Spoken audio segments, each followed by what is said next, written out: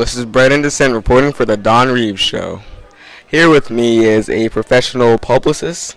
Now, for those who don't know, what is a publicist? What do they do? A publicist is actually a public relations consultant advisor. There are many different things that go behind public relations.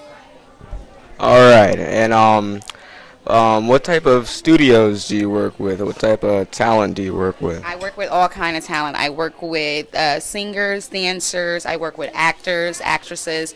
I work with music choreographers. So anything revolving art, music, and entertainment is something that I work with. And do you?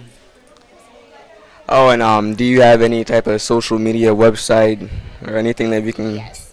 Um, you can find me on Facebook, on Twitter, IG, or on um, Tumblr, any of your social networks at Chanel Howard or at uh, C underscore Howard 2005. All right, thank you. You're welcome. Now,